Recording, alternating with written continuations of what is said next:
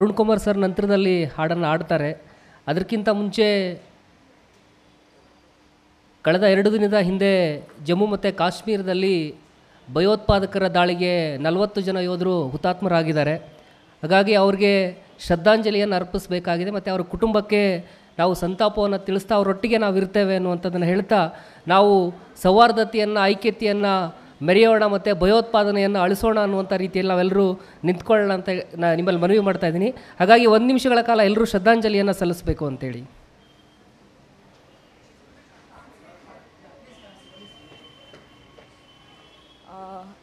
Sangeetha sorry before the music program we will have a small condolences for two minutes of silence we stand up for the for the soldiers who uh, martyred in uh, Jammu Kashmir.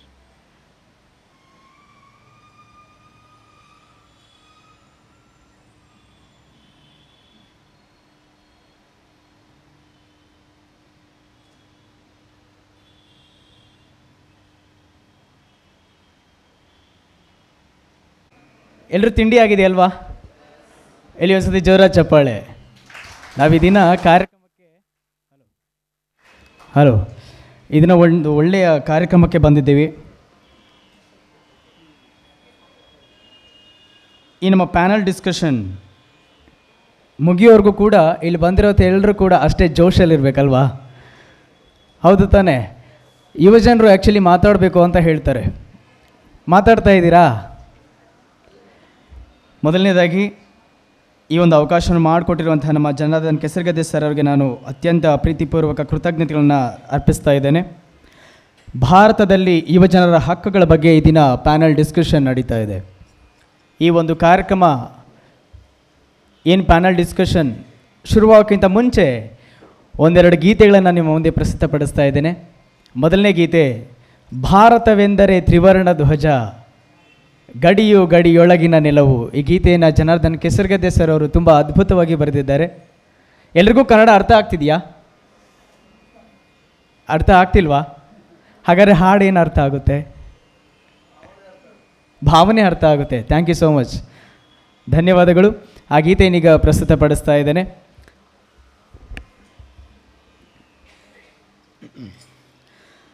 ಭಾರತವೆಂದರೆ ತ್ರಿವರ್ಣ ಧ್ವಜವು ಗಡಿಯು ಗಡಿಯೊಳಗಿನ ನೆಲವು. ನೆಲ ಜಲ ಜನ ಸಂಬಂಧವ ಬೆಸೆವ ಸಂವಿಧಾನದ ಆಶಯವು.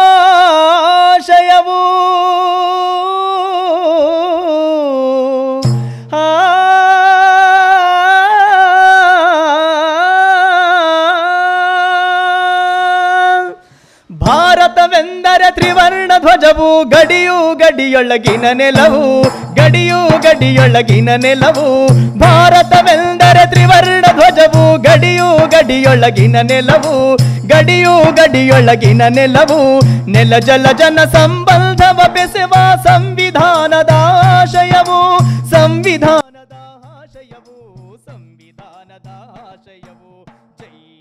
जय जय भारत जय भारत जय जय भारत।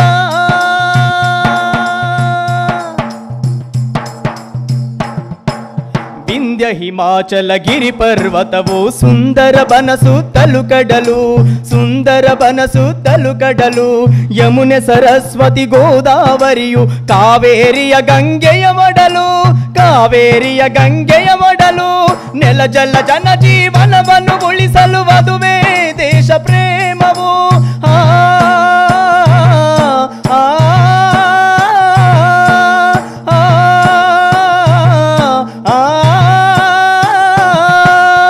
ನೆಲ ಜಲ ಜನ ಜೀವನವನ್ನು ಉಳಿಸಲು ಅದುವೇ ದೇಶ ಪ್ರೇಮವು ಅದುವೇ ದೇಶ ಪ್ರೇಮವು ಅದುವೇ ದೇಶ ಪ್ರೇಮವು ಜೈ ಭಾರತ ಜೈ ಜೈ ಭಾರತ ಜೈ ಭಾರತ ಜೈ ಜೈ ಭಾರತ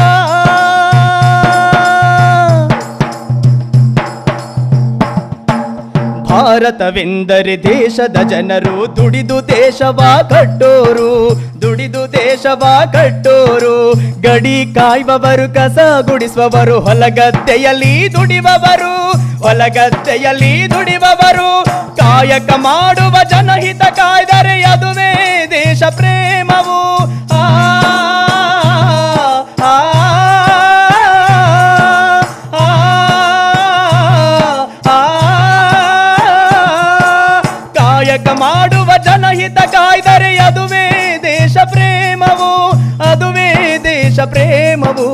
ಅದುವೇ ದೇಶ ಪ್ರೇಮವು ಜೈ ಭಾರತ ಜೈ ಜೈ ಭಾರತ ಜೈ ಭಾರತ ಜೈ ಜೈ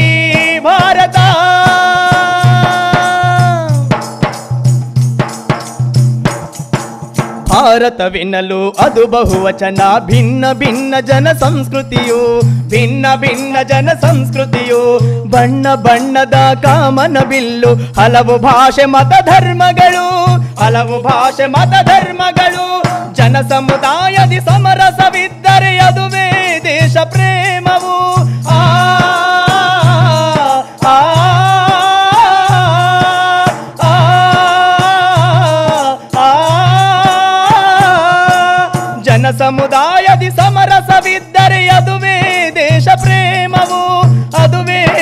ದೇಶ ಪ್ರೇಮವು ಅದುವೇ ದೇಶ ಪ್ರೇಮವು ಜೈ ಭಾರತ, ಜೈ ಜೈ ಭಾರತ ಜೈ ಭಾರತ, ಜೈ ಜೈ ಭಾರತ.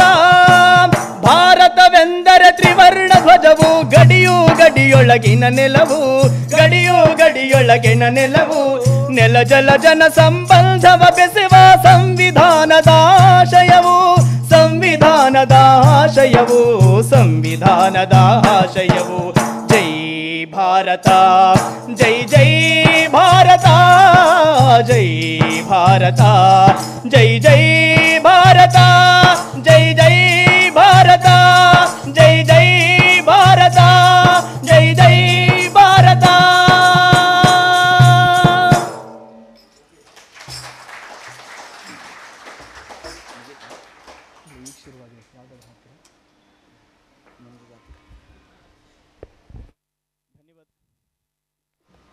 ಧನ್ಯವಾದಗಳು.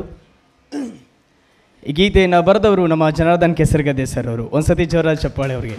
ಎಷ್ಟು ಅದ್ಭುತವಾದಂತಹ ಗೀತೆ ಅಂದರೆ, ಈ ಗೀತೆಯನ್ನು ಇಂಡಿಪೆಂಡೆನ್ಸ್ ಡೇ ಸ್ಪೆಷಲ್ ಆಗಿ ಫೇಸ್ಬುಕ್ಕಲ್ಲಿ ಲೈವ್ ಹಾಡಿದ್ದೆ. ಅದನ್ನು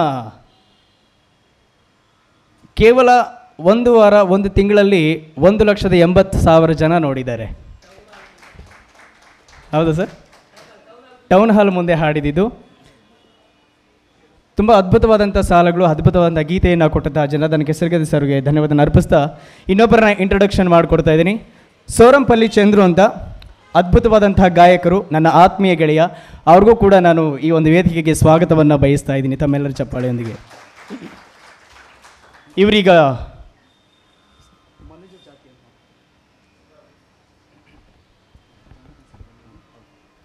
ಮನುಜ ಜಾತಿ ತಾನೊಂದೇ ಬಲಂ. ಭೂಮಿ ಮೇಲೆ ಹುಟ್ಟಿರುವಂಥ ಮನುಷ್ಯರೆಲ್ಲರೂ ಕೂಡ ಒಂದೇನೆ ಎನ್ನುವಂತಹ ಆಶಯದಲ್ಲಿ ಬರೆದಂಥ ಗೀತೆ. ಮನುಜ ಜಾತಿ ತಾನೊಂದೇ ಈ ಗೀತೆ ಇನ್ನೀಗ ಸೋರಂಪಲ್ಲಿ ಚಂದ್ರಿ ಅವರು ಹಾಡ್ತಾ ಇದ್ದಾರೆ. ಈ ಗೀತೆಯ ರಚನಾಕಾರರು ಕೂಡ ಜನಾರ್ದನ್ ಕೆಸರುಗದ್ದೆ ಸರ್ ಅವರು.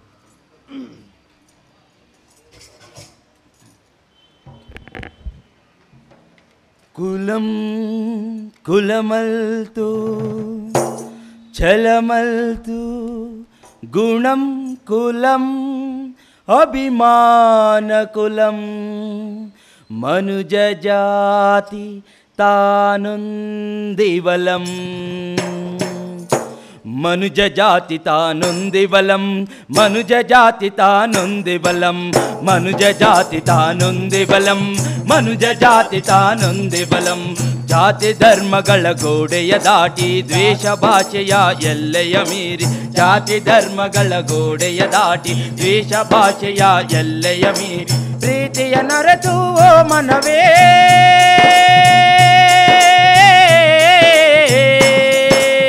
ಪ್ರೀತಿಯ ನರತು ಓ ಮನವೇ ಪ್ರೀತಿಯ ಮ ನರತು ಓ ಮನವಿ ಪ್ರೀತಿಯ ನರತು ಓ ಮನವಿ ಮನುಜ ಜಾತಿ ತಾನೊಂದೆ ಬಲಂ ಮನುಜ ಜಾತಿ ತಾನೊಂದೆ ಬಲಂ ಅದು ಮನುಜ ಜಾತಿ ತಾನೊಂದೆ ಬಲಂ ಮನುಜ ಜಾತಿ ತಾನೊಂದೆ ಬಲಂ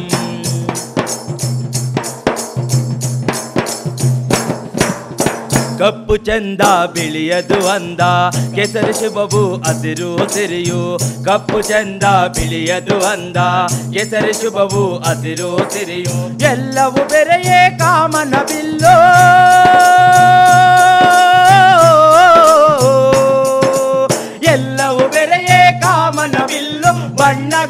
ನಡುವೆ ಭೇದವೇ ಬಣ್ಣಗಳ ನಡುವೆ ಭೇದವೇ ಮನುಜ ಜಾತಿ ತಾನೊಂದೆ ಬಲಂ ಮನುಜ ಜಾತಿ ತಾನೊಂದೆ ಬಲಂ ಹೌದು ಮನುಜ ಜಾತಿ ತಾನೊಂದೆ ಬಲಂ ಮನುಜ ಜಾತಿ ತಾನೊಂದೆ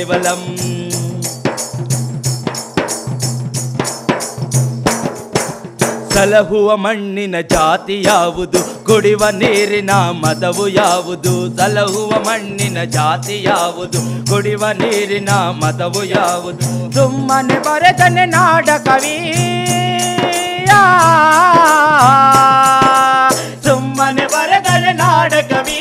మనుజమతా విశ్వపత మనుజమతా విశ్వపత మనుజ జాతి తానుంది బలం మనుజ జాతి తానుంది బలం మనుజ జాతి తానుంది బలం మనుజ జాతి తానుంది బలం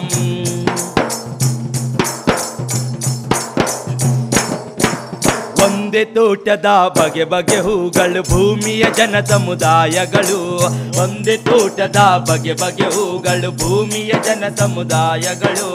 ಅರಿಯದೆ ಬರೆದನೆ ಆದಿ ಕವಿ.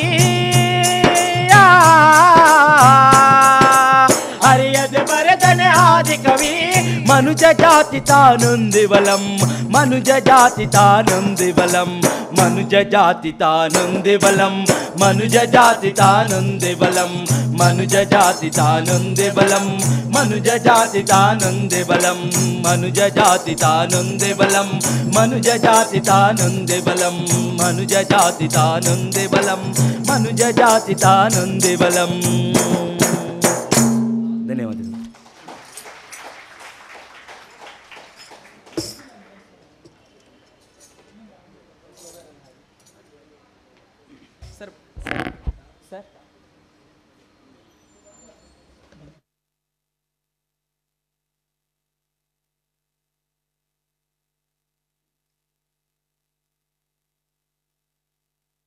Swami and his team Buddi called Buddi Deepa ಕಲಾವಿದರು ಫ್ರಮ್ ಕೋಲಾರ್ ಇವಾಗ ನಾರಾಯಣ ಸ್ವಾಮಿ ಆಮೇಲೆ ಅವ್ರ uh, ಟೀಮ್ ಹಾಡ್ತಾರೆ. ಅವರು ಬುಡ್ ಬುಡ್ಡಿ ದೀಪ ಕಲಾವಿದರು ಅಂತ ಅವ್ರ ಹೆಸರು ಕೋಲಾರದಿಂದ ಬಂದಿದ್ದಾರೆ.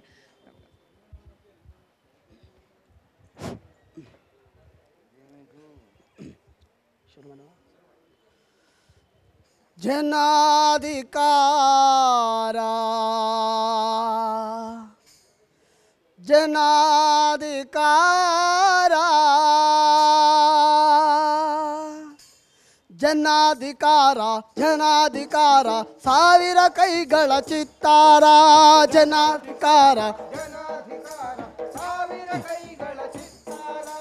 ನೆಲದ ಬೇರುಗಳ ವಿಸ್ತಾರ ಪ್ರಜಾಪ್ರಭುತ್ವದ ಸಾಕಾರ ನೆಲದ ಬೇರುಗಳ ವಿಸ್ತಾರ ಪ್ರಜಾಪ್ರಭುತ್ವದ ಸಾಕಾರ ಸಂಚಿತ ವಂಚಿತ ಜನ ಸಮುದಾಯದ ಅಂತಃಸತ್ವದ ಹರಿಕಾರ. ಚರಿತ್ರೆ ವಂಚಿತ ಜನ ಸಮುದಾಯದ ಅಂತಃಸತ್ವದ ಹರಿಕಾರ. ಜನಾಧಿಕಾರ ಜನಾಧಿಕಾರ, ಸಾವಿರ ಕೈಗಳ ಚಿತ್ತಾರ. ಜನಾಧಿಕಾರ ಜನಾಧಿಕಾರ, ಸಾವಿರ ಕೈಗಳ ಚಿತ್ತಾರ. ಸೂರ್ಯನ ಕಿರಣ ಬೆಳಗದ ಮೂಲೆಯ ಕತ್ತಲ ಮೊತ್ತವಾ. ಮೂಲೆಯ ಕತ್ತಲ ಮೊತ್ತವಾ? ಮಿಣಿ ಬುಡ್ಡಿಯ ದೀಪ ಬೆಳಗುವುದೋ? ಸೂರ್ಯನಿ ಬುಡ್ಡಿಯ ದೀಪ ಬೆಳಗುವುದೋ? ಸೂರ್ಯಕಾಂತಿಯ ಸ್ಥಿರದ ತುಂಬೆಯ ಹೂವಿಗು ಚಲವಿಹುದು? ಹಾಲದ ಬೇರಿನ ಹಾಳವಿಲ್ಲದೆಯು ಯುಗರ್ಕೆಯ ಬೇರು ಚಿಗುರುವುದು? ಜನಾಧಿಕಾರ ಜನಾಧಿಕಾರ, ಸಾವಿರ ಕೈಗಳ ಚಿತ್ತಾರ. ಜನಾಧಿಕಾರ, ಜನ ಜನಾಧಿಕಾರ ಸಾವಿರ ಕೈಗಳ ಚಿತ್ತಾರ ಆನೆಯ ಬಲಕ್ಕೂ ಮಿಗಿಲುಂಟಣ್ಣ, ಇರುವೆ ಕಾಲಿನ ಸಾಲಿನ ಬಲವು, ಆನೆ ಬಾಲಿನ ಸಾಲಿನ ಬಲವು. ಸಾವಿರ ಮೈಲಿಯ ಪಯಣಕ್ಕೂ ಕೂಡ ಒಂದೇ ಹೆಜ್ಜೆಯ ಆರಂಭ. ಸಣ್ಣವರೋನೋ ದೊಡ್ಡವರೇನೆ, ಹಾಲದ ಬೀಜದಿ ಮರವುಂಟು, ಸಣ್ಣದ ಬೀಜದಿ ಮರವುಂಟು.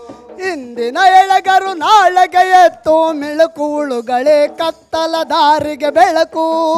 ಜನಾಧಿಕಾರ ಜನಾಧಿಕಾರ, ಸಾವಿರ ಕೈಗಳ ಚಿತ್ತಾರ. ಜನಾಧಿಕಾರ ಜನಾಧಿಕಾರ, ಸಾವಿರ ಕೈಗಳ ಚಿತ್ತಾರ.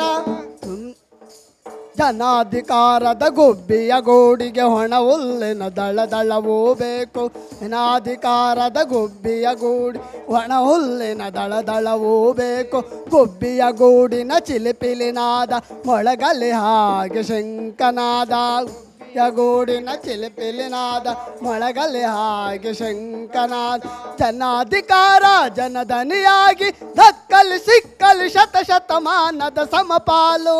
ಜನಾಧಿಕಾರ ಜನಧನಿಯಾಗಿ ದಕ್ಕಲಿ ಸಿಕ್ಕಲಿ ಶತ ಶತಮಾನದ ಸಮಪಾಲು. ಜನಾಧಿಕಾರ ಜನಾಧಿಕಾರ, ಸಾವಿರ ಕೈಗಳ ಚಿತ್ತಾರ. ಜನಾಧಿಕಾರ ಜನಾಧಿಕಾರ, ಸಾವಿರ ಕೈಗಳ ಚಿತ್ತಾರ. ಧನ್ಯವಾದಗಳು ಅದು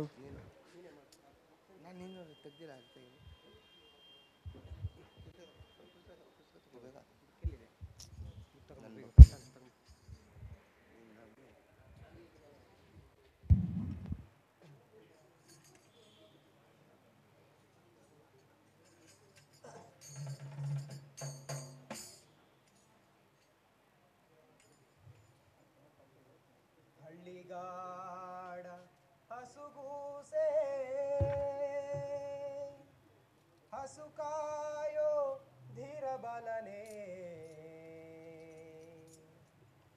ಹಲು ಮರೆತು ದಿನವೆಷ್ಟಾಯಿತೋ ಓ ಹಲುಗೆನ್ನೆ ಯಾಜಿತಗಾರ ಜೀತ ಸೇರಿ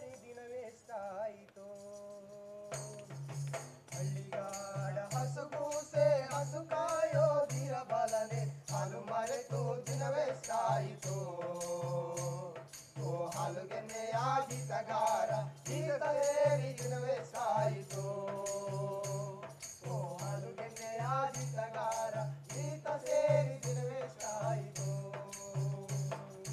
ಹಳ್ಳಿಗಾಡ ಹಸುಗೂಸೆ ಹಸು ಕಾಯೋ ಧೀರ ಬಲನೆ ಹಾಲು ಮರೆತು ದಿನವೆಷ್ಟಾಯಿತು ಓ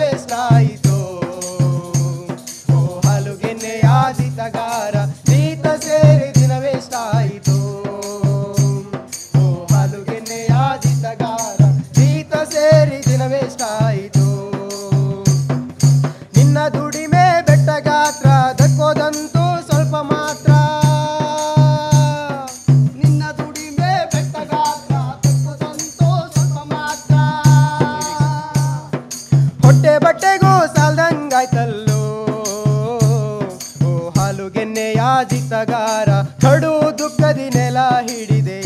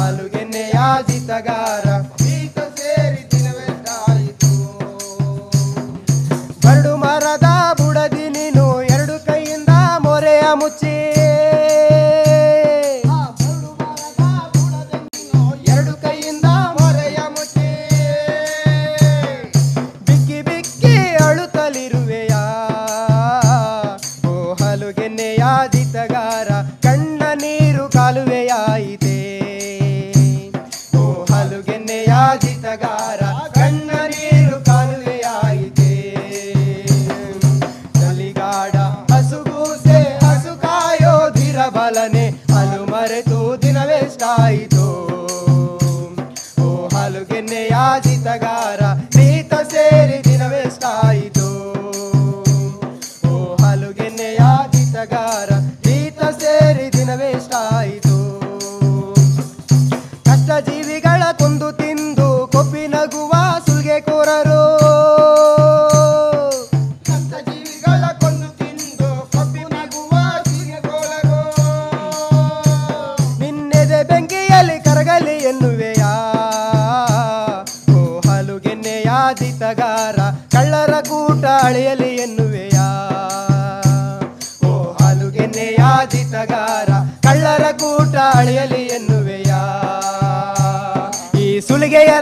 ತೊಲಗಲಿ ಎನ್ನು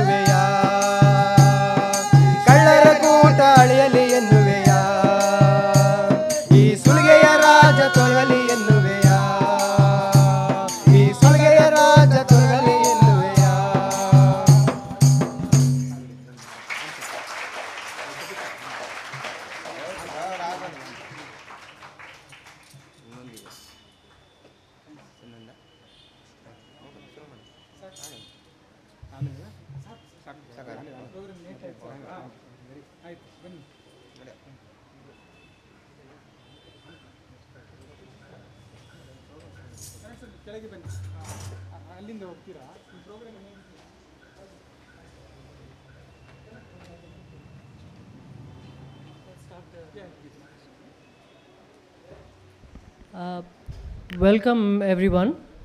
Uh, change of language now for a bit. Uh, so I'll, I'll, just briefly introduce uh, us, why we are doing this, and then we'll get the panel started. So my name is Amit uh, Basole. I am uh, I teach at Azim Premji University, uh, where I am also part of something called the Center for Sustainable Employment, which is a new center that we have set up to do research on jobs and job creation and issues like that. So uh, we have been doing some academic work on this issue, uh, and we thought it was time to also engage with some of the broader questions that come up when you start talking about things like education and employment. So we decided to do this um, program uh, in collaboration with Samvada, who has been our partner throughout this setting up of this program, and uh, somebody will talk about that shortly. Uh, but just very quickly, um, our thinking was that we will bring together some people who have been long working in the youth space, in the political space, on these issues of participation, encouraging demo- democratic participation among the youth, working on issues of educational reform, working on the issue of employment generation and so forth from the youth perspective. Uh, and we wanted to be as broad as we could in terms of the kinds of actors. So we try, we reached out to political parties as well as to social movements. And the way the day is organized is that the first panel is going to be mainly a political party uh, perspective. Uh, and I'll introduce the speakers shortly. And the afternoon panel is going to be mostly social movements. Um, so that's the way we, have, we are going. And there's a lunch break in the middle. Um, so uh, let me just uh, call uh, Sampath, who will briefly talk about Samvada, uh, and then I will introduce the panelists for the morning.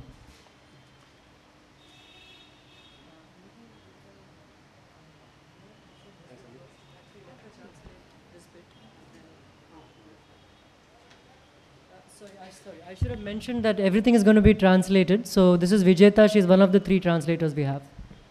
Uh, Namaskara. Um, ಇದು Azeem Premji university in ಅಲ್ಲಿ sustainable employment ಮೇಲೆ research ಆಗೋ ಒಂದು ಸಂಸ್ಥೆಯಿಂದ ಆಯೋಜಿಸಿರುವ ಒಂದು program ಅದರ rights of youth ಅಂತ.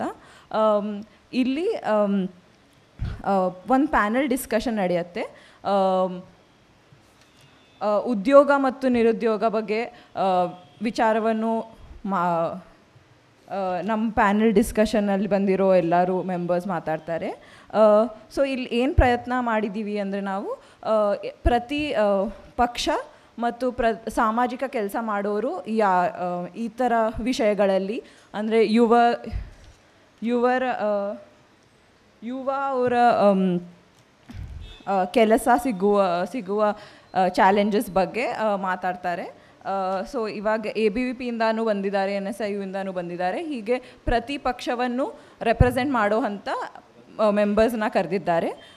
ಸೊ ಇವಾಗ ಮೊದಲನೇ ಸತಿ ಸಂವಾದ ಅಂತ ಒಂದು ಸಾಮಾಜಿಕ ಆರ್ಗನೈಸೇಷನ್ ಇದೆ. ಅಲ್ಲಿಂದ ಒಬ್ಬರು ಮಾತಾಡ್ತಾರೆ.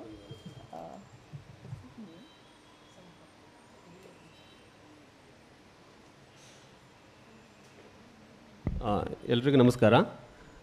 I am Sampath Samvada we are working with youth from past twenty five years we are into education institute Samvada is having Baduku community college also from past ten years we are working with youth for their life skills to develop the livelihood ಅದೇ ರೀತಿ ಬೇರೆ ಬೇರೆ ವಿಭಾಗಗಳಲ್ಲೂ ಕೂಡ ನಾವು ಕೆಲಸ ಮಾಡ್ತಾ ಇದ್ದೀವಿ.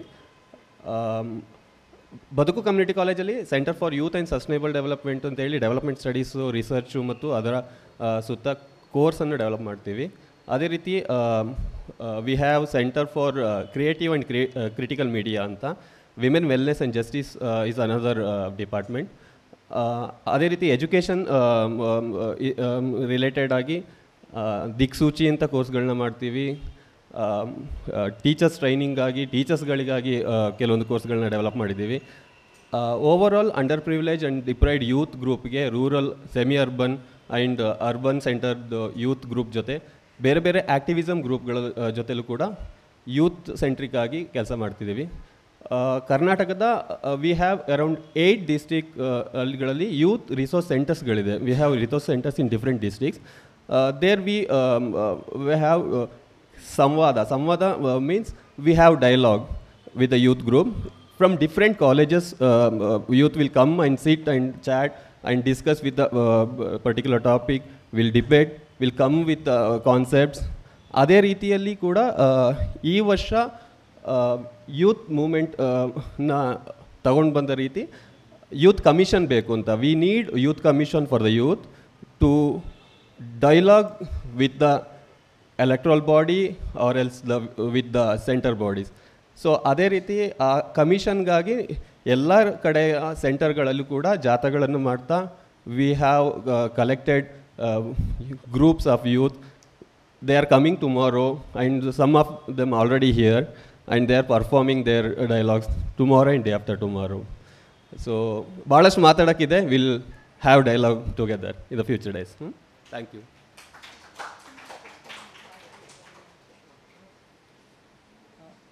Thank you. So let's get started with the morning panel. Uh, uh, I'm going to introduce the panelists uh, in alphabetical order, so there is no scope for anybody to say I took anybody's name before anybody else's. So the winner of the lottery is Ashish Chauhan, who is uh, the National General Secretary of ABVP. Um, he is also the co-founder of the India-China Youth Dialogue. He has extensive experience in the student movement. Uh, he has worked a lot with Russian and Chinese student movements. Uh, he is a convener of Think India, which is a platform uh, you know, which is engaged with um, uh, thinking about India's futures and so on with institutions of the country. Um, and we are very uh, happy that he accepted the invitation to come. And we look forward to his contributions. Uh, we also have uh, Gururaj Desai, who is the um, SFI State Secretary here in Karnataka. Please come. Uh, Gururaj also has many years of uh, experience in uh, youth movements. He's 15 years active here in Karnataka. He has campaigned extensively in different important causes. Uh, for example, preventing government school closures uh, in Karnataka was one of the important campaigns that he led. Uh, he was also part of a campaign to stop Bangalore University land from giving over, a part of the land was being given over to a foreign university. Uh, he was part of a campaign to stop that also. So we are very happy to have Guru Raj here also with us today. Um, we have Surbhi Dwivedi, uh, who is the national, uh, the national general secretary of the NSUI, um, and also another dynamic young leader. Uh, she is uh, from Mumbai. She is a co-founder of an NGO called U Foundation, which is Mumbai-based, um, and she has also worked in the corporate sector before this, um, and she has represented the NSUI in Switzerland as uh, one of the top 100 leaders of tomorrow. So we are also again very uh, happy to have, it, have her here uh, to share her views with us. And moderating this panel uh, of the three panelists is uh, Asha Kautal, uh, who is the General Secretary of the All India Dalit Mahila Adhikar Manch. Um, and Asha has worked extensively on uh, social issues, particularly Dalit issues. Uh, she's part of a national campaign. Uh, is that? She's part of the national campaign on Dalit human rights um, and the creator of Dalit History Month. Uh, and uh, which was also part of a tribunal that uh, produced a report on violence against Dalit women. So Asha will be moderating, and uh, the questions that are being posed to the uh, speakers have already been shared as part of the poster and the social media. So I will uh, leave it to the panelists to take it from here. One more thing, we have translators again for everything. So Vijay Shanti is here and Vijayta is also here. They'll be taking uh, turns translating uh, as the speakers speak.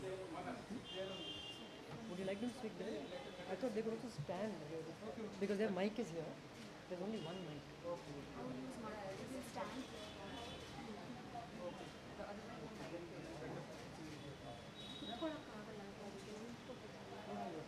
Don't be too tired, no, to stand.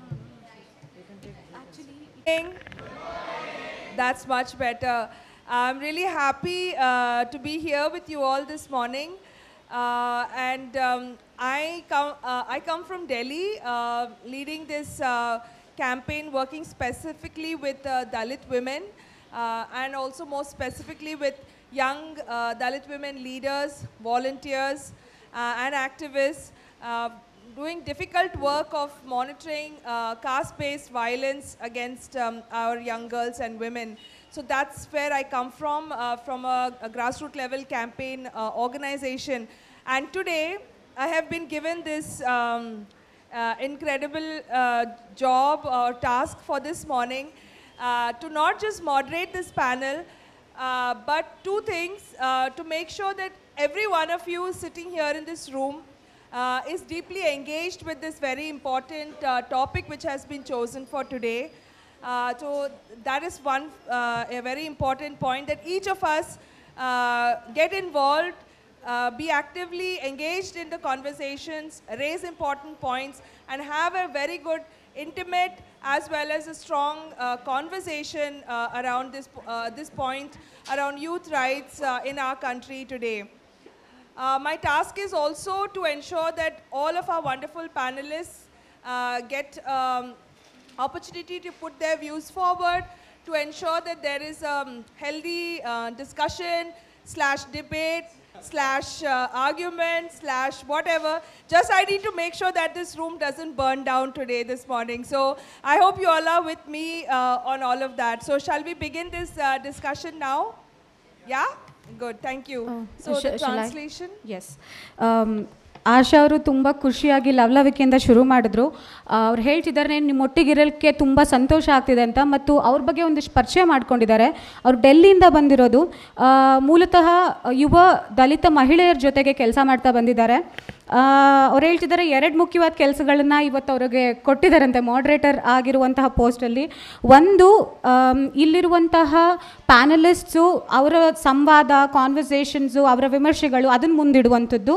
ಮತ್ತೊಂದು ಇಲ್ಲಿರುವ ಪ್ರತಿಯೊಬ್ಬರೂ ಆ ಸಂವಾದದಲ್ಲಿ ಒಳಗೊಳ್ಳುವ ಪ್ರಕ್ರಿಯೆಯನ್ನು ಮಾಡಬೇಕಾಗಿರೋದು ಆಶಾ ಅವ್ರು ಮಾಡಲಿಕ್ಕಿದ್ದಾರೆ. So ಆ ಪ್ರಕ್ರಿಯೆಯಲ್ಲಿ ಯುವಜನ ಹಕ್ಕಿನ ಬಗ್ಗೆ ನಡೀಲಿಕ್ಕಿರುವ ಈ ಸಂವಾದದ ಒಟ್ಟಿಗೆ ನಾವೆಲ್ಲರೂ ಸೇರೋಣ ಅಂತ ಅವ್ರು ಕೇಳ್ಕೊತಾ ಇದ್ದಾರೆ. ಕಂಟಿನ್ಯೂ ಮಾಡ್ಬೋದು ಅನಿಸುತ್ತೆ ಆ,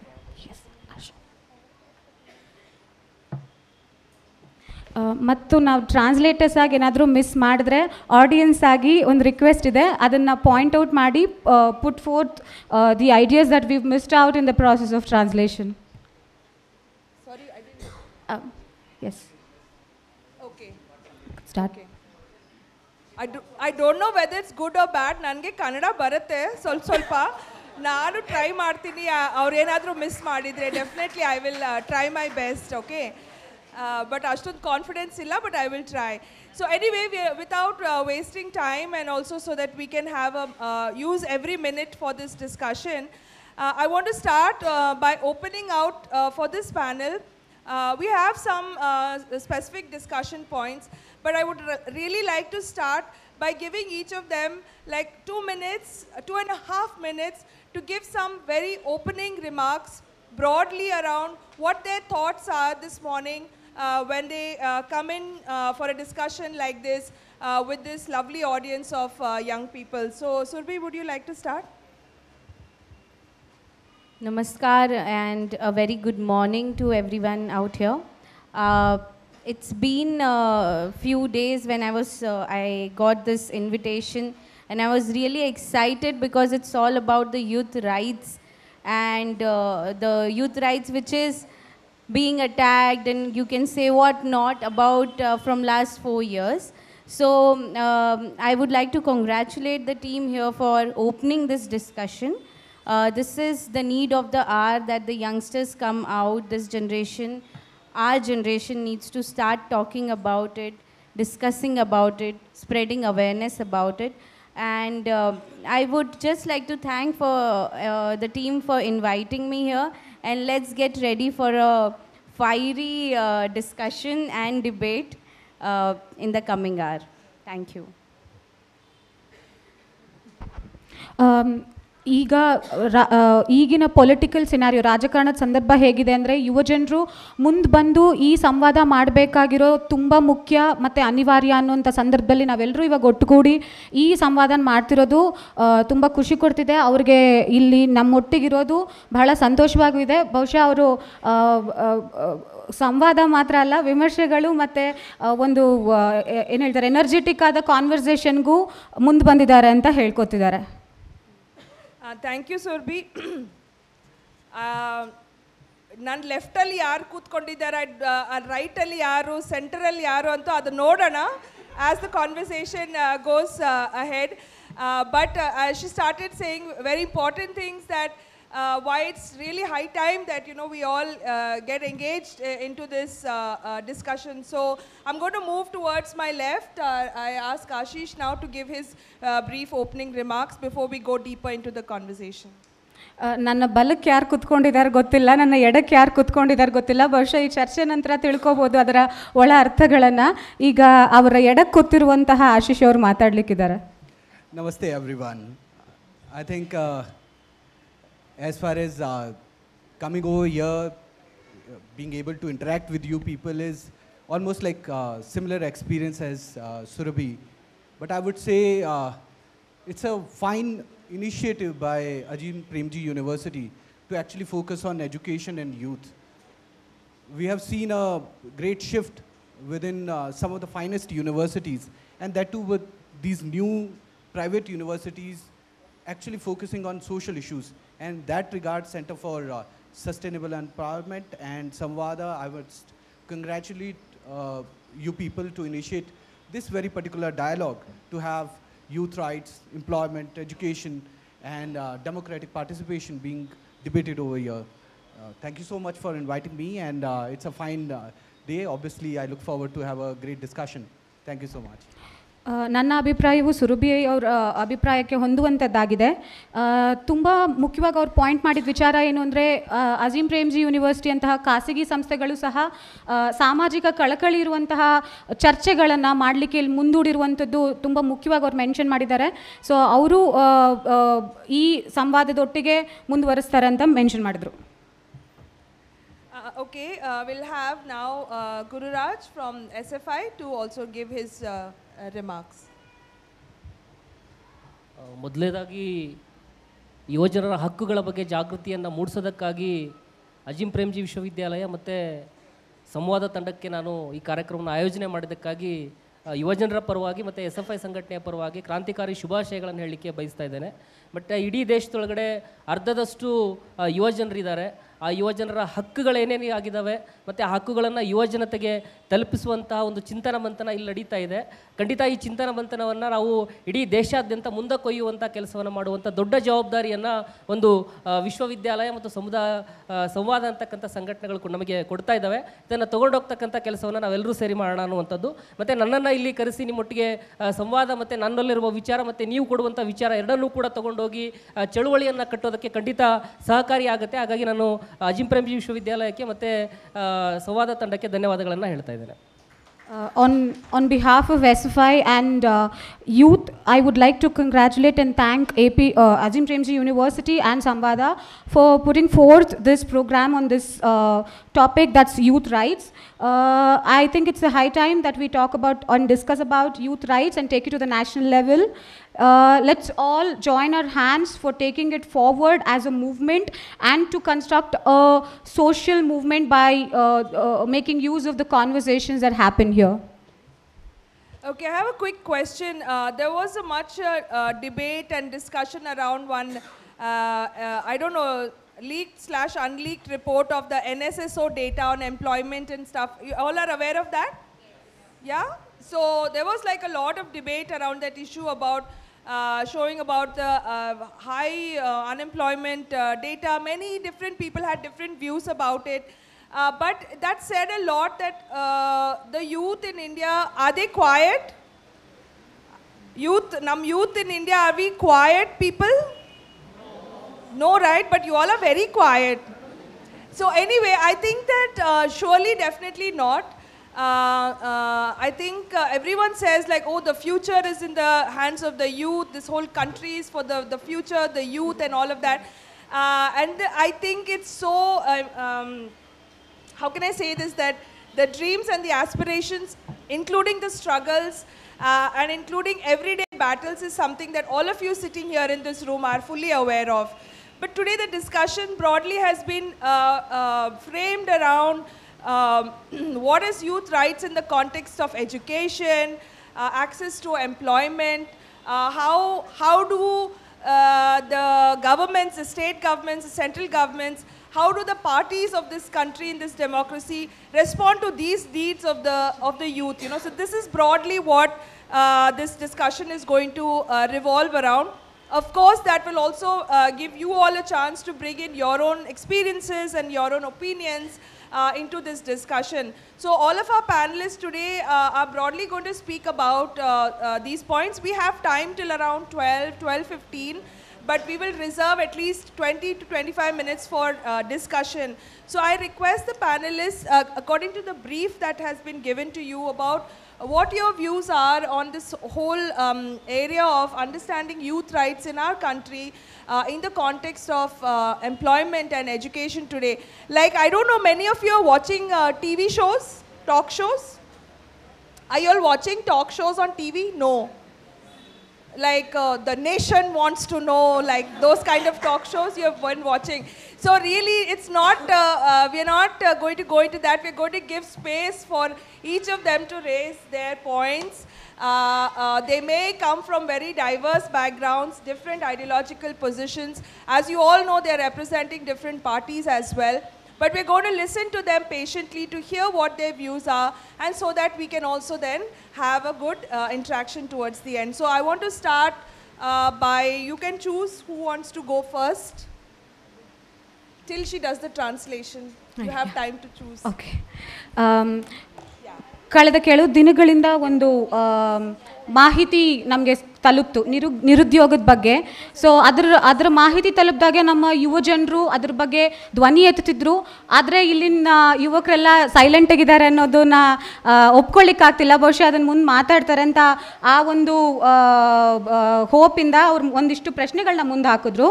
ಯುವ ಜನ ಹಕ್ಕು ಶಿಕ್ಷಣ, ಉದ್ಯೋಗ. ನಮ್ಮ ಈ ಚರ್ಚೆ, ಮೊದಲನೇ ಸೆಷನ್ನಿನ ಚರ್ಚೆ ಇದ್ರ ಸುತ್ತಲೂ ನಡೆಯುತ್ತೆ. ಹೇಗೆ ನಡೆಯುತ್ತೆ ಅಂದರೆ ಆಲ್ ರೈಟ್ ಮುಂದಕ್ಕೆ ಹೋಗೋಣ. ಇಂಡಿಯಾ ವಾಂಟ್ಸ್ ಟು ನೋ ಅನ್ನೋವಂಥ ಕಾಂಟೆಕ್ಸ್ಟಲ್ಲ ಇಲ್ಲಿರುವ ಪ್ರತಿ ಒಬ್ಬ ಪ್ಯಾನಲಿಸ್ಟ್ಗಳು ಅವ್ರದ್ದೇ ಆದ ಪ್ಲೂರಾಲಿಟಿ ಅವರೇ ಆದ ಬಹುತ್ವದ ಹಿನ್ನೆಲೆಗಳಿಂದ ಬಂದಿದ್ದಾರೆ. ಸೊ ಆ ಹಿನ್ನೆಲೆಗಳೊಟ್ಟಿಗೆ India wants to know already ಮುಂದಕ್ಕೆ ಹೋಗೋಣ ಅನ್ನೋಂಥ ನೆಲೆಗಳಿಲ್ಲದೆ ಅವ್ರವ್ರಿಗೆ ಬೇಕಾದಂತಹ ಟೈಮ್ನ ಕೊಟ್ಟು ಅವರು ಒಂದಷ್ಟು ನಿಲುವುಗಳನ್ನು ಇಲ್ಲಿ ಮುಂದಿಡ್ತಾರೆ. ಶಿಕ್ಷಣ, ಉದ್ಯೋಗ, ಯುವಜನರ ಹಕ್ಕು ಅನ್ನೋ ಈ ಟಾ, ಈ ಈ ವಿಷಯದ ಬಗ್ಗೆ. ಇಲ್ಲಿರೋ ಪ್ರತಿಯೊಬ್ಬರೂ ಅದರ ಬಗ್ಗೆ ಇರುವ, ತಮಗಿರುವ ವಿಮರ್ಶೆಗಳು, ನಿಲುವುಗಳನ್ನು ಪ್ಯಾನಲಿಸ್ಟ್ ಮಾತಾಡಿದ ಮೇಲೆ ಇಲ್ಲಿ ಏನೋ ಶೇರ್ ಮಾಡ್ಕೋಬೋದು Okay, thank you. Uh, Surbi wants to go first, uh, so we'll pass on the mic to uh, Surbi, who's representing uh, NSUI. Thank you so much.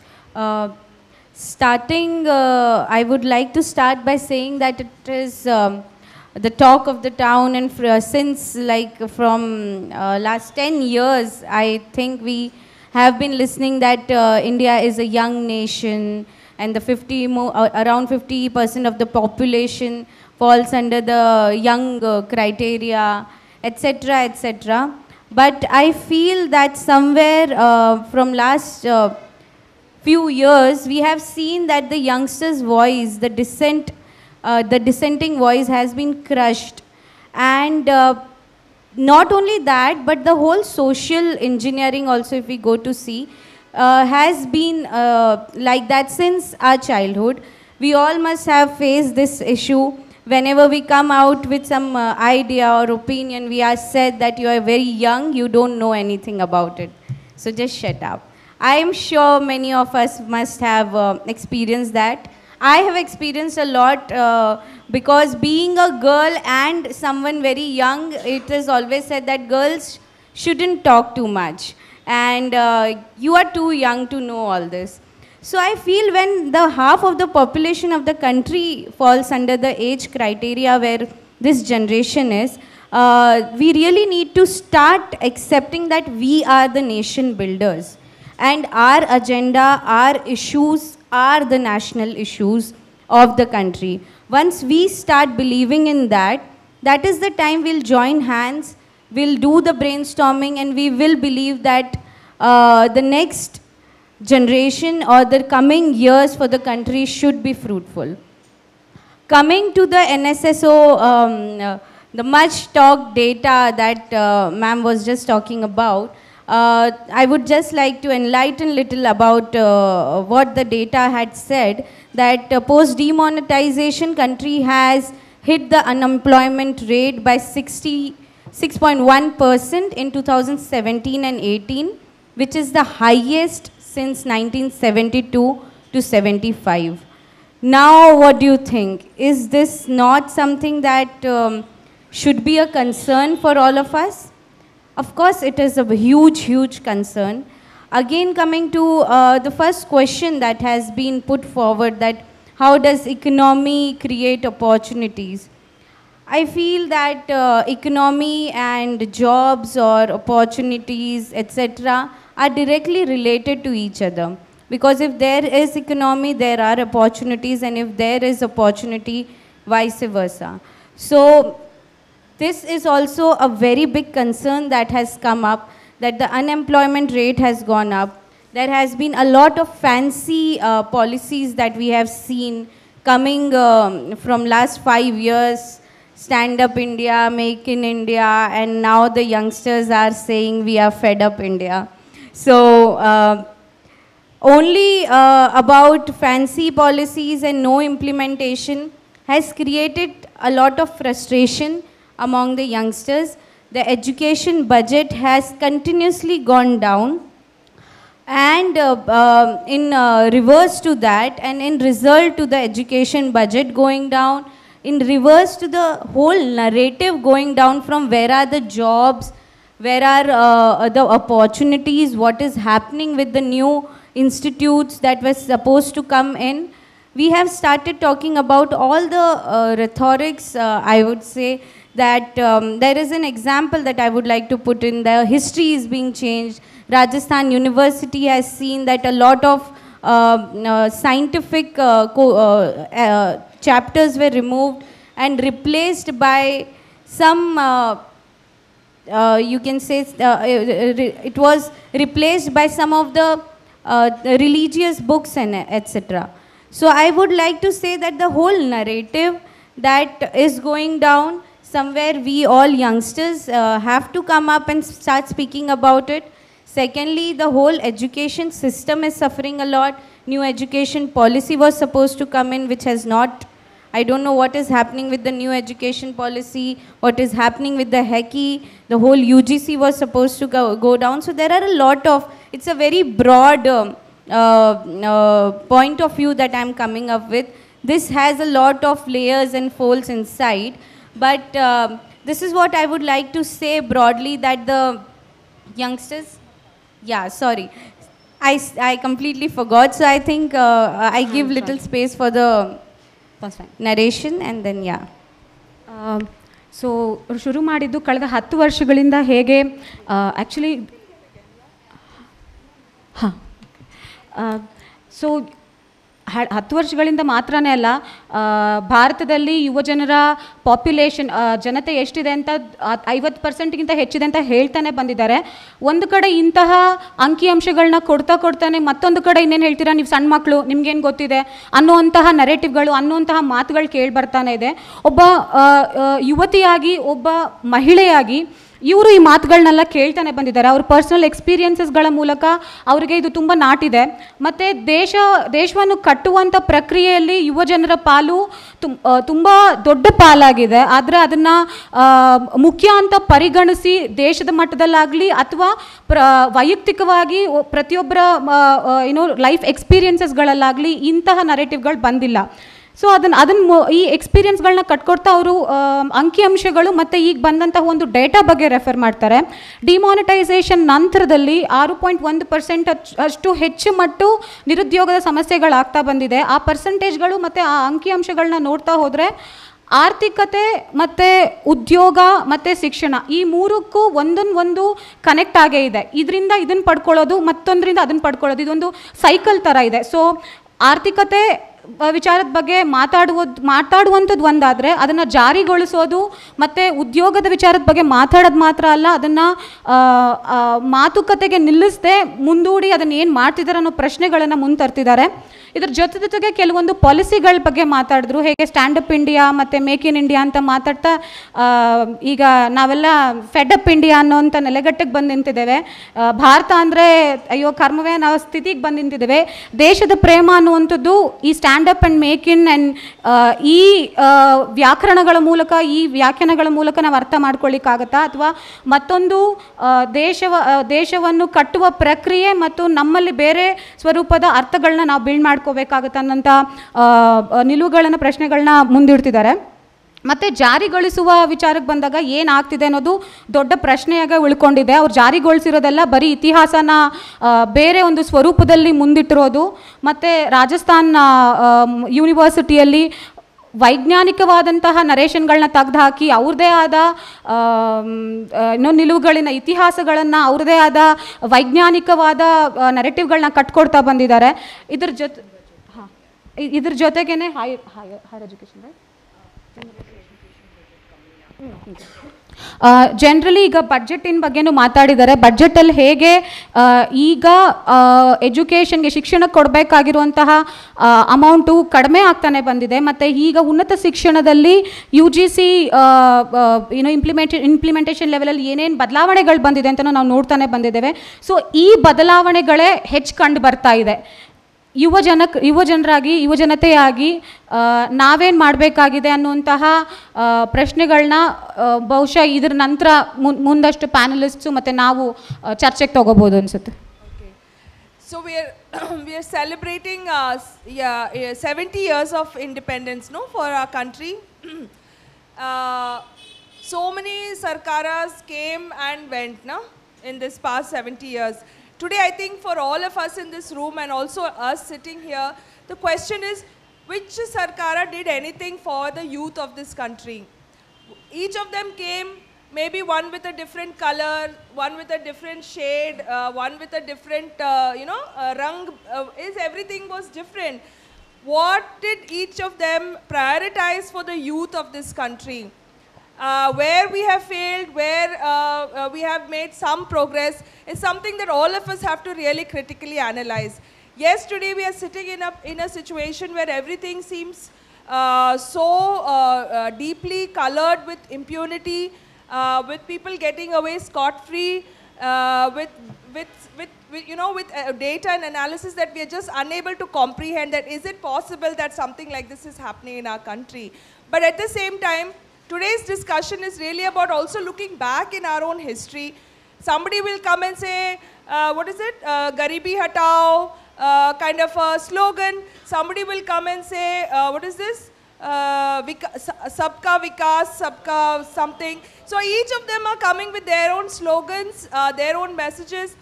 Every time it's when it's time for election, we, they're all coming and looking for all the young voters, the first time voters. Then a lot of analysis is happening. Then everybody is crying hoarse that there's no budget, there's no money. Beti padao, beti bachao, kiska beti bachaya, we don't know.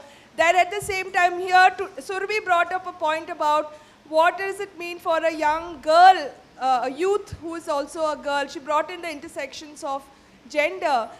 Today at the same time, all of us sitting in this room, SC ST youth ka kya haal hai? What is the situation of Muslim youth today? What is the uh, situation of disabled uh, uh, youth of this country? So uh, we have to look at all these intersections uh, when we are trying to understand youth. Youth is not a homogeneous constituency in this country or anywhere in this world. So really let us be a little bit more um, analytical. Let's go a little deeper into the discussion. So I'm putting all of this to you so that you all can write your questions for them, okay? It's, you're going to get a chance. I'm giving you all tips now. But we are going to move now to my left. Uh, uh, Ashish, I'm sure he has a lot of... Um, uh, lot of responses to uh, uh, Fed Up India, especially, I think so. But before that, we'll ask uh, her to quickly translate. Yeah so ಸಮಕಾಲೀನ ವಿಚಾರಗಳನ್ನ ಮಾತಾಡ್ತಾ ಮಾತಾಡ್ತಾನೆ ಐತಿಹಾಸಿಕವಾಗಿ ಯಾವ ಯಾವ ಸರ್ಕಾರಗಳು ಏನೇನು ಮಾಡ್ತಾ ಬಂದಿದೆ, ಏನಾದರೂ ಮಾಡೇ ಇದೆಯಾ ಅನ್ನುವಂಥ ಪ್ರಶ್ನೆಗಳನ್ನು ಕೇಳಬೇಕಾಗತ್ತೆ. ಹೌದು, ಈಗ ಸಮಕಾಲೀನ ಭಾರತದಲ್ಲಿರುವಂತಹ ಒಂದಷ್ಟು ಪ್ರಶ್ನೆಗಳು ಡೇಟಾ ಅಂಶ ಅಂಶ ಅಂಶಗಳನ್ನ ವಿಶ್ಲೇಷಣೆ ಮಾಡ್ತಿರುವಂತಹ ರೀತಿಗಳ ಬಗ್ಗೆ ನಮಗೆ ಅಸಮಾಧಾನ ಇದೆ. ಆದರೆ ಆ ಅಸಮಾಧಾನ ಪ್ರಸ್ತುತ ಭಾರತದ ಮಾತ್ರನ ಅಥವಾ ಐತಿಹಾಸಿಕವಾಗಿ ಹೀಗೆ ಇದೆಯಾ ಅನ್ನೋ ಪ್ರಶ್ನೆಗಳನ್ನು ನಾವು ಹಾಕಬೇಕಾಗಿದೆ. ಮತ್ತೊಂದು ವಿಚಾರ ಯುವಜನತೆ, ಯುವಜನರು ಅಂತ ಹೇಳಿದಾಗ ಏಕರೂಪವಾಗಿ ನೋಡ್ಲಿಕ್ಕೆ ಆಗುತ್ತಾ? ಅಥವಾ ಅದ್ರ ಅದನ್ನು ಬಹುಮುಖವಾಗೇ ನೋಡಬೇಕಾಗುತ್ತಾ? ಯಾಕಂದರೆ ಯುವಕರು ಅಂದಿದ್ದ ಕೂಡಲೇ ಎಲ್ಲ ಯುವಕರಿಗೂ ಇರೋ ಸಮಸ್ಯೆ ಒಂದೇ ಸ್ವರೂಪದ್ದಾಗಿರುತ್ತಾ? ಎಸ್ ಸಿ ಎಸ್ ಟಿ ದಲಿತ ಬ್ಯಾಕ್ಗ್ರೌಂಡಿಂದ ದಲಿತ ಹಿನ್ನೆಲೆಗಳಿಂದ ಬರುವಂತಹ ಯುವಜನರಿಗಿರುವ ಸಮಸ್ಯೆ ಮುಸ್ಲಿಂ ಮುಸ್ಲಿಂ ಯುವಜನರಿಗಿರುವ ಸಮಸ್ಯೆ ಒಂದೇ ಆಗಿರುತ್ತಾ? ಮಹಿಳೆಯಾಗಿ ಮಹಿಳೆ, ಮಹಿಳಾ ಯುವತಿಯಾಗಿ ನನಗಿರುವಂತಹ ಸಮಸ್ಯೆಗಳು ಮತ್ತೆ ಯುವ ಜನರಿಗೆ ವಿದಿನ್ ಕೋರ್ಟ್ಸ್ ಒಂದೇ ಸ್ವರೂಪದ್ದಾಗಿರುತ್ತಾ ಅನ್ನೋ ಪ್ರಶ್ನೆಗಳನ್ನು ನಾವು ನಾವು ಇಟ್ಕೋಬೇಕಾಗುತ್ತೆ. ಸೊ ಈ ಟಿಪ್ಸ್ಗಳನ್ನು ಆಶಾ ಅವರು ನಮಗೆ ಕೊಡ್ತಾ ಬರ್ತಿದ್ದಾರೆ. ಆಗಾಗ ಮಾಡ್ರೇಟ್ ಮಾಡ್ರೇಷನ್ ಸೆಷನಲ್ಲೇ ಸೊ ಈಗ ಆಶೀಶ್ ಅವರು ಸುರ್ಬಿ ಅವರ ಒಂದಿಷ್ಟು ನಿಲುವುಗಳಿಗೆ ರೆಸ್ಪಾಂಡ್ ಮಾಡ್ತಾರೆ, ಪ್ರತಿಕ್ರಿಯಿಸ್ತಾರೆ. I will start from the very insight from the very fact that when we were young people who are in late twenties year and people who are bit more senior when we were in class 8th, 9th, and 10th, we had a, SST subject and we used to write about issues in front of India. So in civics, we had this uh, population growth and population burst and it used to be the key issue we used to write on number one and then we used to like speak about how population is a problem for india that was our early years in our schooling that we were told that it is a problem and it has to be sorted out and then uh, somewhere in the middle abdul kalam ji came and uh, there was this tyfac reports 20 odd committees they sat down they drafted uh, a future plan, a vision for India. And it was called Vision 2020. And uh, subsequently, we see Abdul Kalam ji later became President of India. I would say for a youngster, there is this whole discussion whether one person is a young or the, there are spheres, whether it is like uh, common uh, in our villages or in our cities. People who are not married are generally considered young, but some other spheres, people who are, had not ventured into a specific league or level are considered young. So that debate can still go on, and I can uh, fully agree with Asha ji on this part that uh, I come from Himachal. I have seen fair share of things from uh, very far-flung areas, backward areas, hilly areas, and then the scheduled tribe, scheduled caste uh, community we see all around us. And there is this heterogeneous uh, mix of youngsters, which is to be given that uh, due space, and where this due space would allow them to actually debate, discuss, participate in this new idea. And obviously, the vision for 2020 and vision for, say, 2030 and 2040 would eventually be fulfilled only when youngsters do participate in this whole uh, sphere. I, I think you can do translation and then I can go for the second comment. ಹಾಂ ಅವ್ರು ಆಶೀಶ್ ಅವರು ಸಹ ಆ, ಆ, ಇಲ್ಲಿ ಇಪ್ಪತ್ತರ ವಯಸ್ ವಯೋಮಾನದವರು ಇದ್ದಾರೆ ಮತ್ತು ಇಪ್ಪತ್ತರ ಕಳೆದು ಬೇರೆ ಕ್ಯಾಟಗರಿಯಲ್ಲಿ ಬರೋರು ಯುವಕರು ಅಂತ ಕರ್ಕೊಳ್ಳೋರು ಇರ್ತಾರೆ. ಸೊ ನಮ್ಮ ಎಕ್ಸ್ಪೀರಿಯನ್ಸಸ್ಗಳಿಗೆ ಹೋಗೋದಾದರೆ ಪಾಪ್ಯುಲೇಷನ್ ಪಾಪ್ಯುಲೇಷನ್ನೇ ದೊಡ್ಡ ಸಮಸ್ಯೆ. ಭಾರತದ ಮಟ್ಟಕ್ಕೆ ಅದೇ ದೊಡ್ಡ ಸಮಸ್ಯೆಯಾಗಿ ಉಳ್ಕೊಂಡಿದೆ ಅಂತ ನಾವು ಲಿಸ್ಟ್ ಔಟ್ ಮಾಡ್ತಾ ಇದ್ವಿ. ಶಾಲೆ ಪುಸ್ತಕಗಳಲ್ಲೂ ಓದಿ ಅದನ್ನು.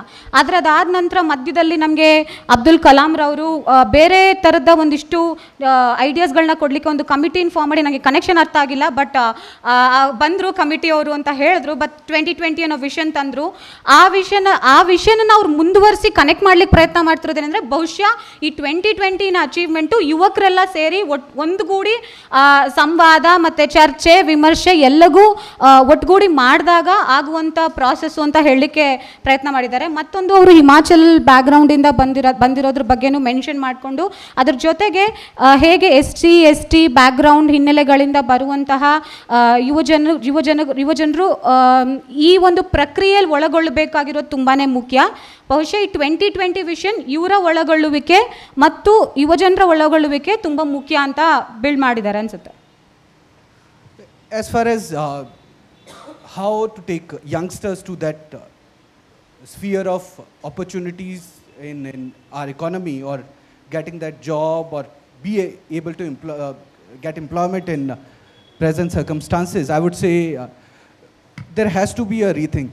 Whole world right now is uh, grappling with this particular issue of job opportunities. You see, in any country, whether it was Trump's America, Trump had a fair share of uh, population which he was catering, and that was uh, the white young people who were not getting employment, which got him connected to that particular crowd. And there was a fair share of issues. And similarly, you go Theresa May, and uh, she's grappling with Brexit, and Brexit is becoming painful for issues in a particular economy, and uh, later, what kind of opportunity there'll be in her economy. Right now, you speak about Europe, you speak about Africa, you speak about India. This particular issue of being employable, having such opportunities or means of economy, be able to provide uh, enough space for youngsters is obviously a global concern. It is not particular to India.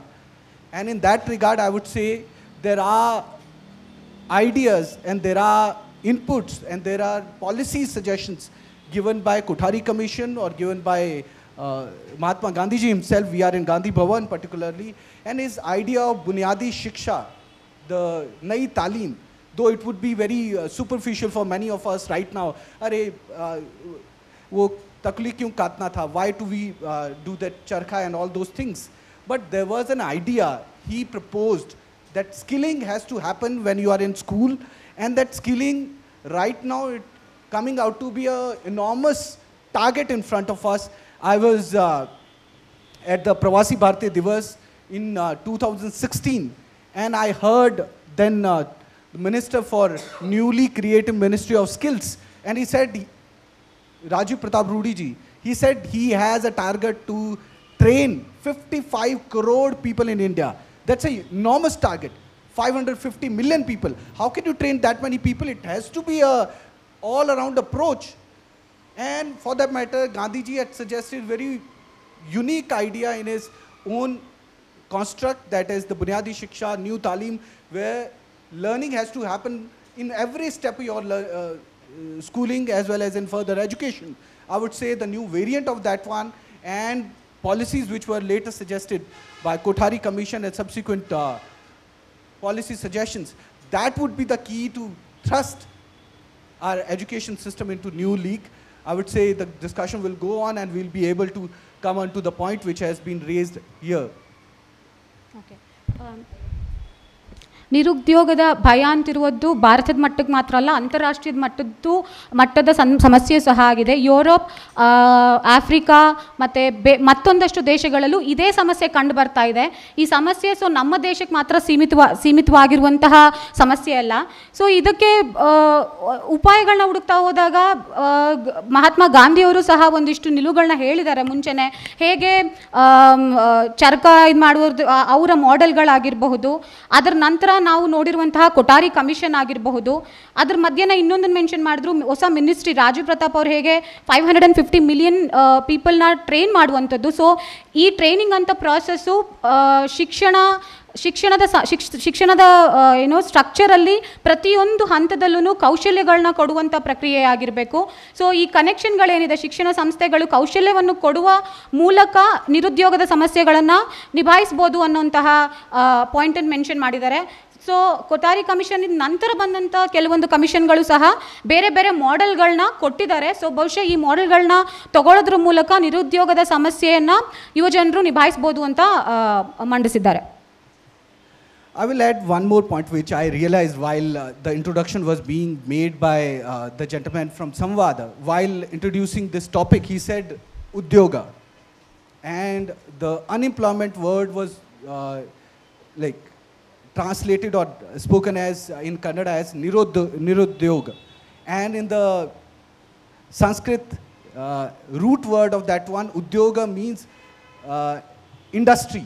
So the connection, the very idea of employment here in India is to you will initiate something and it is a fine idea considering the idea which initially stated by Gandhiji that the Bunyadi Shiksha will yield into a skilling and that skilling will enable you into a job opportunity or employability which in the English context with the word we use employ employee where you will be working under someone rather than creating jobs for others. So I think we need to rethink in a newer context and there are studies reports. I do have reports. I don't want to bring reports in the first uh, uh, circle or debate. I do have a report, and that's a uh, ಡಿಬೇ point I can make very well in the later and thank you. So ಮತ್ತೊಂದು ಪಾಯಿಂಟನ್ನು ಅವರು ಹೇಳಿರುವಂಥದ್ದು introduce ಮಾಡುವಾಗ ಉದ್ಯೋಗ ನಿರುದ್ಯೋಗ ಅಂತ ವಿರುದ್ಧ ಪದಗಳನ್ನ ಬಳಸಿದ್ವಿ. ಆದರೆ ಉದ್ಯೋಗ ಅನ್ನುವಂಥದ್ದು ಸಾಂಸ್ಕೃತ ಸಂಸ್ಕೃತ ಭಾಷೆಯಲ್ಲಿ ಕಾರ್ಖಾನೆ ಅನ್ನುವಂತಹ ಅರ್ಥವನ್ನು ಕೊಡುತ್ತೆ. ಕಾರ್ಖಾನೆ ಅನ್ನುವ ಅರ್ಥ ಕೊಡ್ತಾನೆ. ಅದನ್ನು ಗಾಂಧೀಜಿಯವರ ಮಾಡೆಲ್ಗೆ ಇವರು ಕನೆಕ್ಟ್ ಮಾಡ್ತಿದ್ದಾರೆ. ಸೊ ಈ ಕಾರ್ಖಾನೆ ಅನ್ನುವಂತಹ ಅರ್ಥವನ್ನು ನೀವು ಉದ್ಯೋಗವನ್ನು ಸೃಷ್ಟಿಸುವ ಪ್ರಕ್ರಿಯೆ ಅಂತ ಆಗುತ್ತೆ ಆದರೆ ಅದನ್ನು ನೀವು ಉದ್ಯೋಗ, ನಿರುದ್ಯೋಗ ಎಂಪ್ಲಾಯಿ ಎಂಪ್ಲಾಯರ್ ಅಂದರೆ ಕೆಲಸ ಮಾಡುವವ, ಕೆಲಸ ಕೊಡುವವ ಅನ್ನುವಂತಹ ಅರ್ಥಗಳನ್ನು ಮಾಡ್ತಾ ಹೋದಾಗ ನಾವು ಮುಂದೂಡಿ ಉದ್ಯೋಗಗಳನ್ನು ಸೃಷ್ಟಿಸಲ್ಲ ಬಟ್ ಉದ್ಯೋಗಗಳು ಇದೆಯಾ ಇದೆಯಾ ಅಂತ ಕೇಳುವ ಪ್ರಶ್ನೆಗಳನ್ನೇ ಹಾಕ್ತಾ ಉಳ್ಕೊಳ್ತೀವೇನೋ? ಅನ್ ಅದರಿಂದ ಮರು ಈ ಅರ್ಥಗಳ ಮರುಚಿಂತನೆ ಆಗಬೇಕು.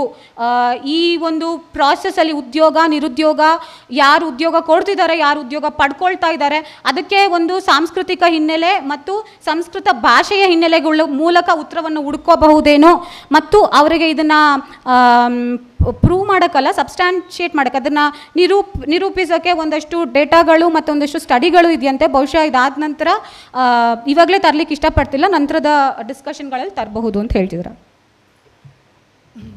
to be honest, I feel like just jumping from the seat and going away because I think we're uh, we we are all sitting here uh, knowing what's happening uh, in this country. I think all of you know that when the parliament was in session uh, for the budget.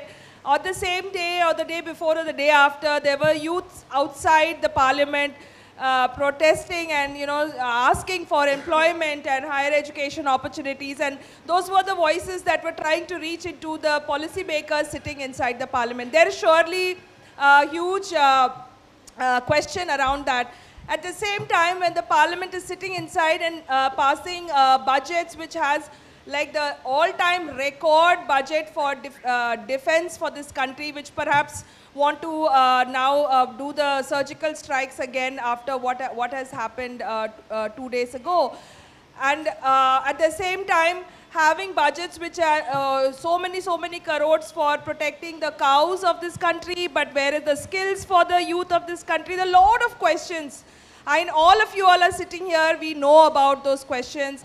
We also know what the previous governments have done. We also know what other people are, other smaller uh, regional parties and uh, other um, groups uh, and collectives of social movements are asking so that this country will have a sustainable and equi- equitable uh, development uh, for all of us. So uh, we are sitting here, uh, which is a um, I would say like a hotbed of uh, debatable questions, which I'm not saying this just because of the sake of the debate, because this is our reality, right?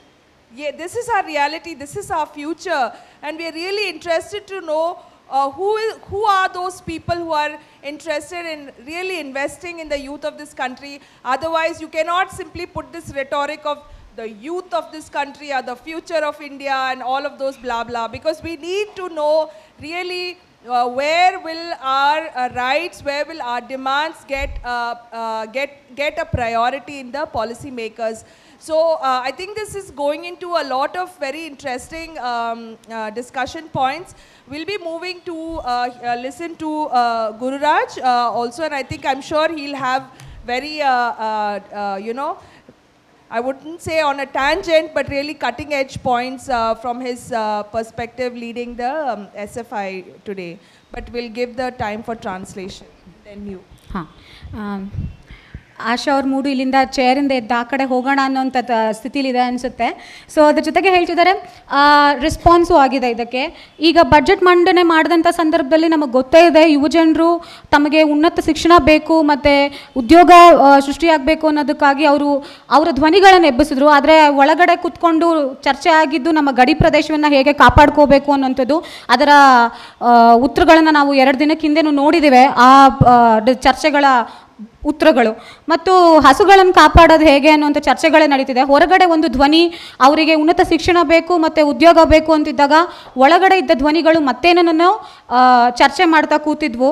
So ಇಂಥ ಚರ್ಚೆಗಳು ಮತ್ತು ಕೊನೆಗೆ ಹೇಳುವಂಥದ್ದು ಭಾರತದ ಭವಿಷ್ಯ ಇರುವಂಥದ್ದು ಯುವಜನರ ಕೈಯಲ್ಲೇ ಅಂತ ರೆಟಾರಿಕ್ ಪ್ರಶ್ನೆಗಳಂದರೆ ಉತ್ತರಗಳು ನೀವೇ ಕಂಡ್ಕೊಳ್ಳಿ ಅನ್ನೋಂತಹ ಪ್ರಶ್ನೆಗಳನ್ನು ಮುಂದೂಡುವಂತಹ ನೆಲೆಯಲ್ಲೇ ಆಗಿದೆ. ಒಂದು ಸ್ಪಷ್ಟವಾದ ಒಂದು ಸುಸ್ಥಿರವಾದ ಆ, ಭವಿಷ್ಯವನ್ನು ಕಟ್ಕೊಳ್ಳಿಕ್ಕೆ ಬೇಕಾದಂತಹ ಚರ್ಚೆಗಳು ಏನು ಕಂಡು ಬರ್ತಿಲ್ಲ. ಸೊ ಈಗ ನಮ್ಮ ಗುರುರಾಜ್ ಸರ್ ಅವ್ರು ಮಾತಾಡ್ತಾರೆ ಅವ್ರದ್ದು ತೀರಾ ವಿರುದ್ಧವಾಗಲ್ಲ ಬಟ್ ಅವರ ಒಂದು ಹಿನ್ನೆಲೆಯಲ್ಲಿ ಭಿನ್ನವಾದ ನಿಲುವುಗಳನ್ನೇ ಮಂಡಿಸಲಿದ್ದಾರೆ ಅಂತ ಅನ್ಕೋಬಹುದು. So Gururaj sir